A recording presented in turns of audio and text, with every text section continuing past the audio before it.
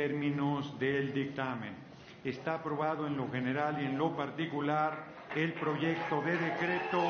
por el que se reforman y adicionan y derogan diversas disposiciones de la Constitución